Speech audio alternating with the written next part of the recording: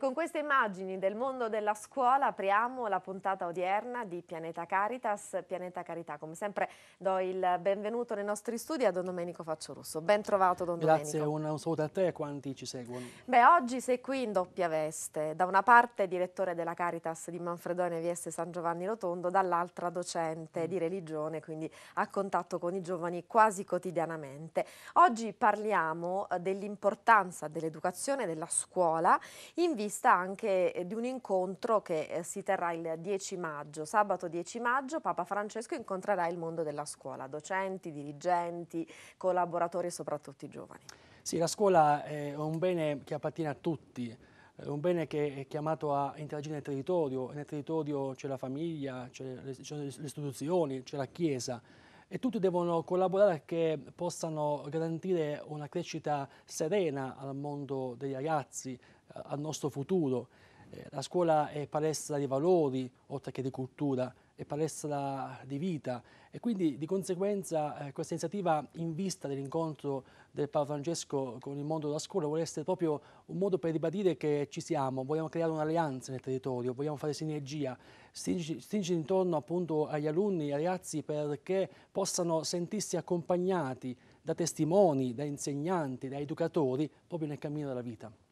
Un incontro che appunto vedrà tu, quasi tutte, eh, un, un invito rivolto a tutte le scuole italiane che sicuramente risponderanno con grande entusiasmo perché quando Papa Francesco chiama si risponde in massa. Dunque ci saranno gli insegnanti, ci saranno i dirigenti scolastici e soprattutto i ragazzi, gli alunni, coloro i quali Don Domenico quotidianamente avete a scuola, coloro i quali con, quotidianamente ecco, cercate eh, di, eh, di, dare delle indicazioni, di educarli eh, alla vita buona del Vangelo. Certo, ovviamente. L'emergenza educativa che già Benedetto XVI ci indicava, invitando i vescovi italiani in modo particolare a, a studiare strategie d'azione perché, perché il tema dell'educazione possa essere vissuto in modo giusto, perché possa in qualche modo essere anche rivisto quei processi educativi che sono importanti, eh, interpella eh, tutte le forze appunto no, che sono presenti nel territorio come prima si diceva.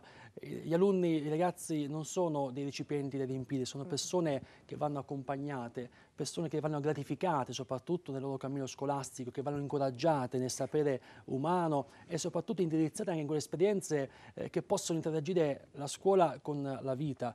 Spesso nel nostro eh, durante l'ora delle religioni, per esempio, eh, parliamo di temi di attualità, eh, come spesso diciamo, no, dalla finestra entrano, entra la vita e dalla scuola deve appunto eh, deve trovare risposte concrete perché il nostro essere nella vita, quindi nel quotidiano, sia un essere produttivo. Non a caso la Caritas Luesana realizza proprio progetti eh, che interagiscono con la scuola e il territorio, laddove il volontariato diventa, soprattutto per le classi più, no, più, più, più grandi, le ragazze più, grandi, da 16 anni in poi, eh, il volontariato diventa anche uno, un ambito dove possono rivelare quei talenti che si portano dentro proprio nell'ottica della speranza, offrire ai ragazzi la possibilità di raccontarsi nel territorio e di imparare dal territorio, quindi la scuola e vita attraverso il volontariato diventa una scuola, un ambito concreto dove poter affinare quei, quei, quei valori che sono portanti, costitutivi dell'essere cittadini di un domani, ma nell'ottica sempre eh, di, di, aiutare i ragazzi ad essere, ad essere sereni, no? a, a, intercettare quel benessere che va, che va costruito insieme e che va sempre salvaguardato perché i ragazzi possano crescere appunto in modo sereno e costruttivo per i domani. Una scuola dunque per imparare, per imparare le basi della propria cultura, della propria istruzione, ma la scuola anche appunto come palestra eh, di vita. Eh, tra qualche istante ascolteremo la testimonianza di un insegnante, Rosaria Scarfiello, docente di religione, che ci racconterà la sua esperienza, il suo punto di vista come, come docente. E eh, volendo collegare la scuola alla Caritas eh, Don Domenico, ci sono anche dei progetti di sostegno a minori che hanno difficoltà scolastiche. Sì, fai bene a ribadirlo perché la Caritas si mette a fianco al mondo scolastico, ai dirigenti scolastici, quindi agli insegnanti, attraverso progetti di, di volontariato. Il tema progetto non deve fare paura, insomma, perché progetto significa mettersi a tavolino, significa eh, non seguire l'emotività, ma appunto eh, definire de, delle priorità, degli obiettivi strategici fatti nel tempo, con una scansione temporale, con, con delle forze che, che, vengono chiamate eh, in causa, ma nell'ottica ecco, di, di, un benessere partecipato, che significa in pratica. Che la Caritas Geresana a livello parrocchiale, anche associativo cattolico, realizza anche delle iniziative di sostegno scolastico a minori, il cosiddetto dopo scuola, facendo incontrare due realtà, i minori che hanno bisogno, indicati in genere dalla scuola, scuola elementare, eh, che hanno bisogno di essere aiutati nei compiti e che talvolta hanno anche famiglie un po' assenti alle spalle, e poi il mondo de degli adolescenti, quindi il mondo dei ragazzi del triennio che vogliono fare esperienza di, di, di volontariato, non è proprio un percorso sul volontariato, ma è un percorso nel mondo del volontariato, è un modo anche per far sentire i ragazzi utili, per intercettare quel benessere che va sempre difeso, un modo anche per sanare quelle strutture che ci possono essere nel territorio. E allora abbiamo in collegamento telefonico quest'oggi, eh, la ringraziamo per questo, Rosaria Scarfiello, docente eh, di religione, alla quale diamo il benvenuto. Salve Rosaria, Buonasera. benvenuta. Buonasera, buonasera a tutti voi e a tutti i vostri telespettatori. Grazie, Grazie, per aver accolto il nostro invito. Allora, la puntata di oggi è dedicata alla scuola. Um, tempo fa ed è questa diciamo, una consuetudine ecco, che riguarda il nostro territorio, si è svolta la settimana della scuola. E qual è il significato di questo momento? Immagino anche di confronto, di, anche perché no, ecco, di, eh, di scontro tra insegnanti e giovani. Mi, faccia, mi lasci passare il termine perché è bene anche che ci sia un po' di scontro tra le generazioni a volte per crescere. Ma sì, sicuramente di scontro interpretato in senso positivo come stimolo a fare sempre meglio, sì, sicuramente sì, uno scontro costruttivo, diciamo così. Sì. Eh, il significato della settimana dell'educazione è stato quello di rimettere al centro proprio questo grande valore in una società come la nostra dove non è che i valori siano così tenuti poi in grande considerazione e soprattutto di rimettere in comunicazione tra loro le varie cosiddette agenzie educative, quindi la famiglia, la scuola, la chiesa, l'amministrazione comunale laddove è sensibile alle tematiche dei giovani, proprio perché eh, si è deciso di tornare ad investire sui nostri ragazzi, sui nostri giovani, visti nella loro prospettiva del nostro e del loro domani. Ecco Rosaria, quali iniziative avete realizzato, quali iniziative avete portato avanti nel corso di questa settimana? Noi abbiamo pensato di eh, mettere in atto delle iniziative che partissero dal piccolo, quindi dalla nostra realtà scolastica, per andare poi verso il nostro territorio di appartenenza per cui siamo partiti dalla, dalla, dalla, raccolta di beni alimentari che poi abbiamo donato al dispensario della nostra parrocchia di appartenenza che è la cattedrale di Manfredonia e quindi in qualche giorno di, siamo stati a disposizione dei ragazzi per raccogliere appunto una sorta di banco alimentare eh, che credo sia andato davvero bene, segno questo che volta, se sono stimolati eh, nel senso giusto i nostri ragazzi comunque rispondono in maniera, non esito a definire fantastica. Eh, poi eh, siamo, stiamo andando verso l'apertura verso l'altro con una, eh, una tavola rotonda eh, sui temi dell'intercultura e dell'accettazione del diverso eh, quindi un'ulteriore apertura, non più vi- verso il vicino ma cominciare ad allontanarci, con eh, poi dei collegamenti al dialogo del, tra le generazioni, per cui c'è stato qualcuno di noi che si è occupato del rapporto tra genitori e figli, tra nonni e nipoti. Eh, il tutto si dovrebbe poi concludere la settimana prossima con una tavola rotonda sul tema dell'educazione. A maggio poi, i primi di maggio, faremo un'ulteriore tavola rotonda eh, sull'idea che Papa Roncalli, aveva, a cui il nostro istituto è dedicato, aveva sull'educazione. Dunque mi pare di capire dall'entusiasmo con il quale ce ne parla che i ragazzi hanno risposto in maniera molto attiva e positiva sì, anche. Sì, a tutte le iniziative devo dire, mm. a tutte le iniziative. Non esito a dire che ancora oggi, nonostante sia passato qualche giorno, ci sono ancora ragazzi che per esempio portano mh, mm, la pasta piuttosto che il riso, anche se oramai diciamo, la raccolta in senso stretto è finita, oppure io personalmente ho, fatto, ho usato il sistema della lettera aperta ai genitori o ai docenti e ancora oggi mi ritrovo con ragazzi che mi consegnano queste loro lettere da mettere nella cassetta che abbiamo preparato, quindi credo che sì, la, la risposta dei ragazzi sia stata davvero entusiasta. E questo è fondamentale, è fondamentale soprattutto che i ragazzi abbiano degli insegnanti motivati che prima di tutto diano loro l'esempio. Grazie Rosaria Scarfiello, docente e prego, un prego. saluto anche ai suoi ragazzi, ai suoi studenti. Grazie, grazie, grazie ancora. Ricambio, ricambio per loro.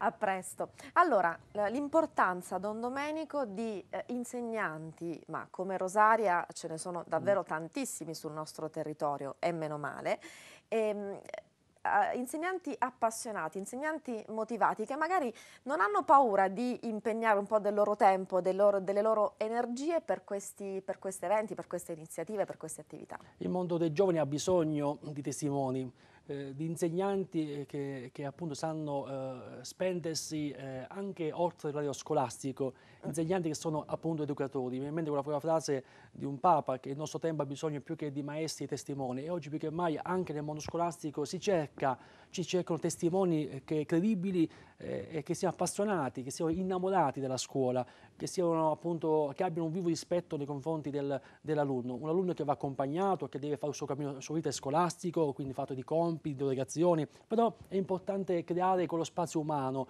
quella umanizzazione che anche nel mondo scolastico deve essere eh, appunto, no, ravvivata, che va promossa in tanti modi. E poi i progetti, così come sono stati presentati, sono progetti che si fanno in tante scuole italiane, proprio in vista dell'incontro di Papa Francesco nel mondo della scuola. Eh, progetti interessanti che hanno a che fare con il mondo del territorio, cioè, poco fa si citava il fatto del volontariato, il discorso della raccolta alimenti, sarà anche un modo per responsabilizzare i ragazzi in, per quanto concerne la presenza dei poveri. Nel territorio, talvolta i ragazzi non sanno che ci sono strutture che si adoperano a, a favore delle famiglie in difficoltà, talvolta ecco, in classe quando si chiede ma sapete che cos'è la Caritas, non sappiamo cos'è la Caritas, sapete eh, la Caritas in quella parrocchia quale attività ha in sé, sapete che c'è una, una struttura che si occupa dei, dei minori oppure eh, dispensare alimenti. Allora questa raccolta vivere è, è servita anche sul su piano educativo anche per responsabilizzare, per far conoscere ai ragazzi il territorio, eh, ma nell'ottica del servizio. Lo, lo, lo, si conosce il territorio servendolo attraverso una raccolta viveri. Poi anche questo, questi incontri tematici, educativi eh, in, in, sinergia e poi quella, questa raccolta, quella raccolta eh, di lettere anonime o anche firmate tra docenti, alunni e genitori, la scuola che vorrei, la famiglia che vorrei e ne uscirà fuori eh, de, de, delle indicazioni che poi saranno eh, presentate ai docenti, ai, genitori in una tavola rotonda che poi saranno la base su cui progettare il prossimo anno progetti concreti perché talvolta si rischia di progettare nel mondo scolastico senza conoscere quelle, quelli che sono i bisogni, le attese appunto no, della comunità. Esatto. Allora a proposito di scuola hai preparato per noi due brevi clip eh, nelle quali eh, a parlare, a portare la loro testimonianza sono coloro i quali nella scuola vivono ed è un po' la loro seconda casa, la loro seconda famiglia. Sto parlando degli insegnanti. Ascoltiamo allora queste prime testimonianze.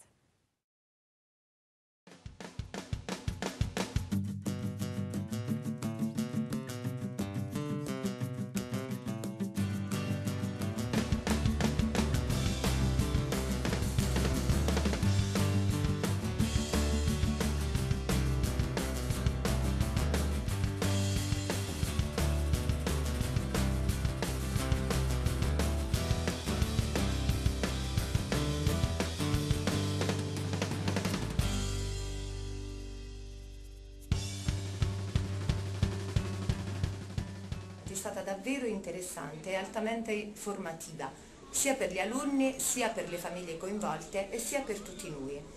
Si è rivelata una preziosa occasione per riflettere ancora di più sulla necessità di tornare sui veri valori etici, morali, educativi che ci aiutano ancora meglio ad affrontare il futuro.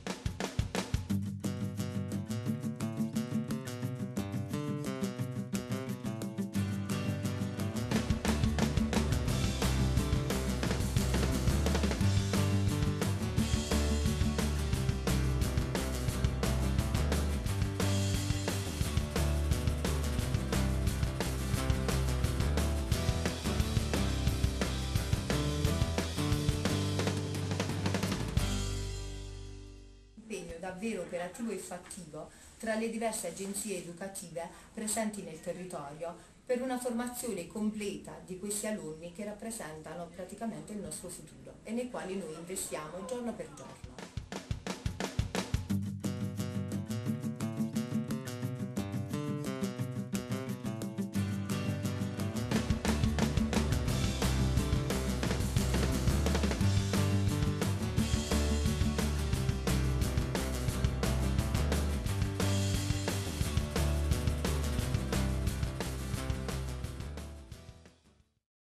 Volte, Don Domenico, si parla di insegnanti un po' maltrattati, insegnanti che non ce la fanno più a reggere il peso di ore e ore a contatto con i ragazzi, però quando c'è quel fuoco vivo, quando c'è quella, quella, passione per l'insegnamento, beh, è, è chiaro, la, le cose cambiano. Sì, cambiano perché bisogna intercettare l'interesse dei ragazzi, bisogna mm. ravvivare il loro entusiasmo, il loro interesse, incanalarlo eh, su quello che è il programma scolastico ovviamente che va appunto no, eh, vissuto, il docente deve eh, appunto insegnare in base a un, una, una, programmazione scolastica che va appunto no, attesa e va realizzata, ma questo significa cambiare il metodo, il modo da, di, di rapportarsi al, al, appunto al, all'alunno, saper umanizzare la relazione, saper responsabilizzare i ruoli ovviamente, perché l'insegnante non è un amico, l'insegnante è insegnante, è insegnante deve certo. esserci un, un, un, distacco educativo tra alunno e insegnante, ma questo non significa che l'insegnante non deve interessarsi della vita del, dell'alunno, quando a volte gli alunni, soprattutto, soprattutto nel mondo eh, adolescenziale, eh, si aprono eh, in maniera ecco, privata al docente e, e, e mettono a conoscenza di storie che vanno al di là della scuola scuola, allora l'insegnante diventa a questo punto un educatore, eh, anzi vive ancora, ancora meglio la, la, sua funzione di educatore perché, eh, perché, mette in atto anche un dialogo con, con, la famiglia, cerca di essere a servizio, da fare da cerniera tra eh, alunno, quindi figlio e famiglia, o viceversa, talvolta la famiglia eh, ha difficoltà nella relazione col, col, col minore, con, con il figlio, allora eh, si cerca un consiglio dal, dal, docente, il docente cerca in qualche modo di, di, di, di sanare questi strappi educativi che ci possono essere proprio nella comunicazione tra genitori e figli. Allora insegnare è, è un'arte nobile, bella, perché è, è, hai davanti eh, giovani ragazzi che sono il nostro futuro. Esatto, è davanti cui, proprio il futuro da plasmare. Può, da plasmare. Su cui si può investire e questo d'altra parte però ci responsabilizza, forse anche un ci mette un po' di timore perché, perché, è un materiale che va plasmato, dove visto che la maggior parte del tempo eh, i ragazzi lo, lo, passano proprio a scuola, allora avere docenti, docenti che siano maestri, testimoni, appassionati,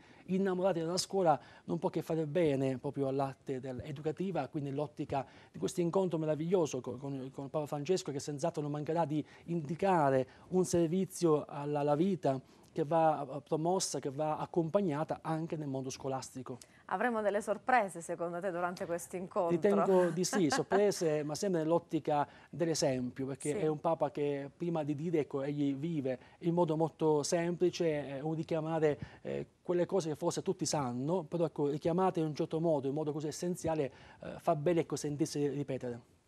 E allora, in attesa di ascoltare le parole di Papa Francesco, sulle quali poi sicuramente faremo una puntata, certo. Don Domenico, anche perché sarà proprio il culmine del, del mese eh, di maggio, prima della chiusura dell'anno scolastico, le scuole incontreranno Papa Francesco, il mondo della scuola incontrerà Papa Francesco. Allora, a questo proposito vogliamo ascoltare un'altra testimonianza, altre, altre storie, altre parole, altre voci che tu hai raccolto e queste sono le voci degli insegnanti. Ascoltiamo.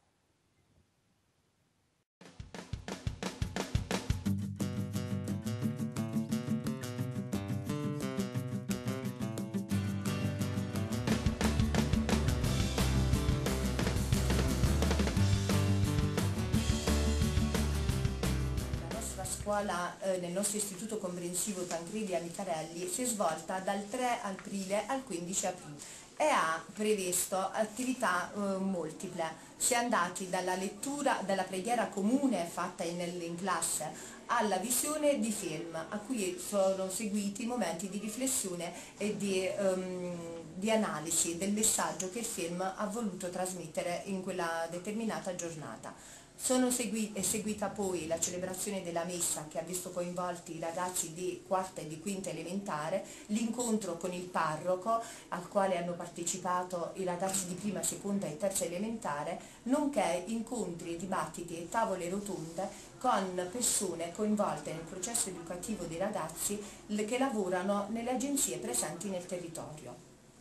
E anche i ragazzi delle medie hanno visto alcuni film naturalmente con, che hanno sviluppato temi un pochettino più complessi. Data positiva e speriamo tutti che si ripeta perché la scuola ha visto momenti di, oltre che di riflessione anche di fermento, di, eh, di condivisione, di, nella, nella, nella, partecipazione e nell'organizzazione delle varie attività che si sono svolte nella scuola. Hanno risposto positivamente alle iniziative intraprese e hanno, eh, questo ci fa capire che sono una risorsa per noi, ci hanno, ci, ci hanno aiutato, si sono mostrati disponibili, collaborative ed è molto molto importante per il rapporto scuola-famiglia e scuola e territorio.